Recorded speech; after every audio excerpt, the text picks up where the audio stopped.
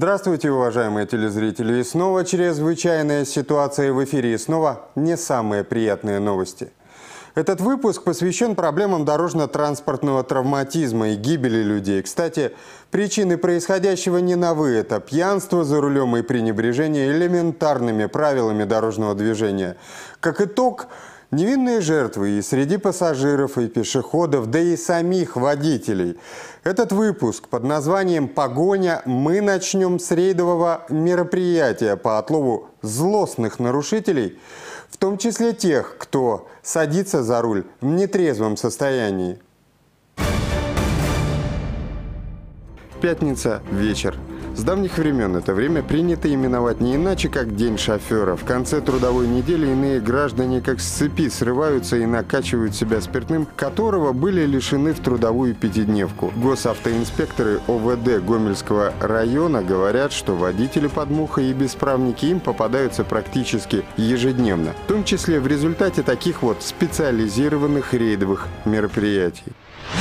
Практически каждый день происходит задержание на дорогах Гомельского района, водителей, э, управляющих в состоянии пьянения и не, осозна... не осознающих э, большую степень опасности как для себя, так и для окружающих его водителей и э, участников дорожного движения. Принимаются меры административного воздействия, а в случае повторного задержания в течение года таких водителей наступает уголовная ответственность. К примеру тому явилось э, задержание 14 э, июля текущего года жителя Гомельского района, который управлял мопедом, не выполнил неоднократные требования об остановке транспортного средства, преследовался экипажем ГАИ Гомельского района, после чего был задержан и доставлен в Гомельский РОВД.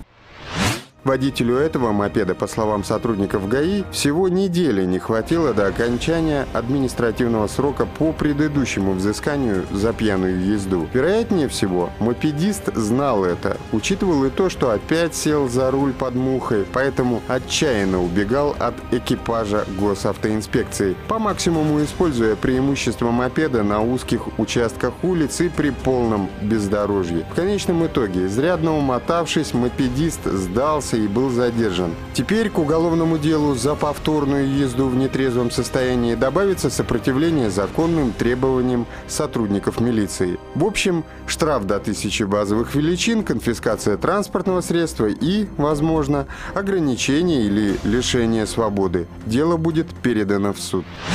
Но в целом, по сравнению с аналогичным полугодием 2015 года, в истекшем полугодии наблюдалось снижение количества зарегистрированных преступлений, предусмотренных статьей 317 прим УК Республики Беларусь, а это предусматривает уголовную ответственность за повторное управление транспортным средством лицом, управляющим транспортным средством в состоянии алкогольного опьянения в течение года после наложения административного взыскания за такое же правонарушение. Значит, со 147 до 108 преступлений. Что касается карательной практики, то необходимо отметить, что соответственное количество осужденных за данные преступления снизилось. А вот мотоциклиста в поселке Лич догонять не пришлось. Он сам встретился со столбом и, по предварительной информации, сделал это, будучи в подпитии. В нашем распоряжении есть кадры с видеорегистратора, зафиксировавшего момент ДТП. Ситуация разворачивалась так. На закруглении дороги водитель мотоцикла «Урал» с коляской не справился с управлением и на скорости въехал в опору ЛЭП. На тот момент в мотоцикле, кроме водителя, находились еще две женщины-пассажирки. В момент удара одна Одна из них выпала из мотоцикла и отделалась ссадинами, а вот самого водителя и другую пассажирку пришлось госпитализировать с тяжелыми травмами. В результате чего водитель мотоцикла и пассажир получили телесное повреждение. Э, оба доставлены э, в больницу. По данному факту проводится проверка на место выезжали э, сотрудники ГАИ и оперативная группа РОВД. Погоня за нарушителями – это будни районной госавтоинспекции. Так было и с другим мопедистом в тот же пятничный вечер. Молодой человек с виду лет 30-35 с обильной растительностью на лице решил, что встреча с ГАИ ему явно противопоказана. На большой скорости по дачным закоулкам он пытался оторваться от нашей машины. В конечном итоге ему это удалось. Он втиснулся между столбов, куда легковой автомобиль не проедет. А вот другому нарушителю не так повезло. Уже в Гомеле водитель Mitsubishi уходил от погони, но на полном ходу был остановлен стоящими грузовиком и легковушкой. Последствия этой встречи на оперативных фото. Сейчас идет разбирательство по данному факту, но можно предположить, что водитель пытался уйти от статьи за пьяную езду. Диспозиция данной статьи предусматривает ряд альтернативных наказаний, такие как исправительная работа, арест, ограничение свободы и в том числе и лишение свободы. При этом э, часть вторая данной статьи, то есть когда лицо уже ранее судимо или совершило данное преступление, предусмотрено статьей 317 прим, прим в период неснятой непогашенной судимости, также управлял транспортом в состоянии алкогольного опьянения, предусматривает наказание вплоть до лишения свободы сроком до трех лет. Доподлинно неизвестно, куда спешил и кто гнался за водителем внедорожника, когда тот совершил наезд на двух женщин в Гомеле. Но итог ужасающий. Обе женщины 57 и 50 лет погибли на месте.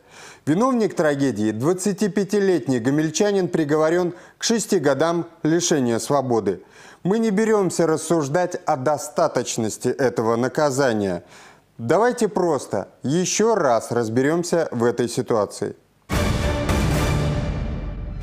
В нашем распоряжении есть кадры с машины виновника ДТП, снятые в момент происшествия. Как видно, человек за рулем грубо нарушил правила. Его не смутил остановившийся перед переходом в крайнем левом ряду автомобиль. Кстати, к своим 25 годам водитель внедорожника не раз привлекался к административной ответственности за различные нарушения правил дорожного движения и даже был лишен прав на небольшой срок. Однако урок не пошел впрок. И тем злополучным вечером он несся по Советской на скорости около 100 км в час в сопровождении веселой компании на заднем сидении. Сам водитель был трезв, но, как видим, это ничуть его не оправдывает. Э, согласно требований правил дорожного движения, несмотря на то, что со стороны пешеходов допущены э, явные нарушения требований при пересечении проезжей части, на водителе лежит обязанность при возникновении препятствия и опасности для дорожного движения принимать меры по снижению скорости вплоть до остановки транспортного средства. И если в ходе следствия будет установлено, что водитель видел пешехода, исходя из скорости движения транспортного средства и технических состояний этого автомобиля, он мог предотвратить наезд то есть применив экстренное торможение остановиться, но не сделал это, то, скорее всего, водитель будет привлечен к уголовной ответственности. По данным республиканской статистики, каждое седьмое ДТП совершается в нашем регионе. Каждая восьмая жертва аварий на дорогах – это тоже Гомельская область. И хотя в целом, по сравнению с прошлым годом, на Гомельщине смертность в результате ДТП снизилась почти наполовину, Цифры устрашающие. С начала года погибло 25 человек, 235 получили ранения различной степени тяжести. А самым распространенным остается наезд на пешехода. На этот вид ДТП приходится почти 40% всех зарегистрированных происшествий. И именно в таких авариях гибнет больше всего людей. При этом в подавляющем большинстве случаев ответственность ложится именно на водителей транспортных средств. В случае нарушения правил проезда пешеходного перехода водитель может быть подвергнут административному взысканию в виде предупреждения или штрафа от 1 до 5 базовых величин. Это по первому разу. В случае, если правонарушение будет допущено повторно в течение года, сумма штрафа уже возрастает, и оно возрастает от 2 до 8 базовых величин. Предупреждения второй раз уже никакого нет. Для пешеходов напоминаю, что тоже есть своя ответственность в случае нарушения правил перехода проезжей части – пешеход подвергается э, ответственности, административному взысканию в виде предупреждения, либо штрафу до трех базовых величин. Дети, Чаще всего они становятся невинными жертвами халатности взрослых. Поэтому в период отпусков и каникул к этой, пожалуй, наименее защищенной категории участников дорожного движения повышенное внимание со стороны госавтоинспекции. Специалисты отделения агитации и пропаганды постоянно проводят тематические встречи для воспитания культуры поведения на дороге. И через СМИ еще раз обращаются ко взрослым водителям, чтобы предотвратить новую трагедию с детьми. А Вопросы профилактики детского дорожно-транспортного травматизма актуальны всегда, но особенно они актуальны в весенний летний период, когда большую часть времени ребята проводят на улице. На дорогах Гомельской области с начала 2016 года произошло 21 дорожно-транспортное происшествие, в которых один ребенок погиб и 21 получили различные ранения. А уважаемые родители, хочется напомнить о том, что перевозя ребенка куда-либо, даже на короткие расстояния, необходимо, чтобы ребенок находился в детском удерживающем кресле, либо после достижения 12 лет пристегнут ремнем безопасности. Скорость. Для многих она как наркотик, но и последствия передозировки здесь предсказуемы. Во-первых, потому что большую частью наш дорожный фонд предполагает относительно неспешную езду. А во-вторых, как показывает практика, далеко не все машины способны выдержать механические испытания скоростью. Ну а в-третьих, сами люди. Невнимательность, безрассудство, усталость. Тройное ДТП в Добружском районе. В результате грубого маневра, слабой оценки дорожной ситуации и при повышенной скорости погиб человек. Лобовое столкновение привело к смерти водителя автомобиля «Опель» 30-летнего жителя Добруша. Главный удар пришелся в Nissan Sentra под управлением 29-летнего гомельчанина. Водитель и пассажир японской иномарки с различными травмами были доставлены в больницу. И только водитель «Рено» не пострадал. Водитель автомобиля «Опель» выехал на полосу встречного движения, где совершил касательное столкновение с автомобилем «Рено», после чего лобовое столкновение с автомобилем «Ниссан», который двигался навстречу. В результате дорожно-транспортного происшествия водитель «Опеля» скончался на месте происшествия. Водитель и пассажир автомобиля «Ниссан» были доставлены в больницу с травмами различной степени тяжести.